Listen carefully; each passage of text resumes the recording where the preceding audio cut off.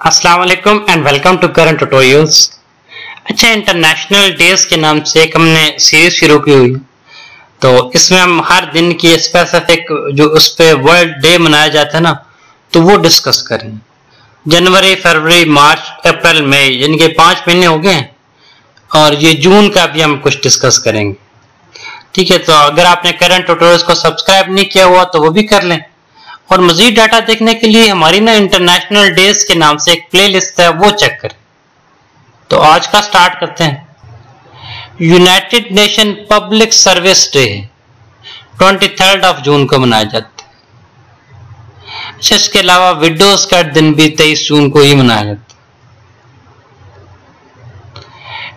International day of women in diplomacy ठीक है, वो मनाया जाता है, चौबीस जून को।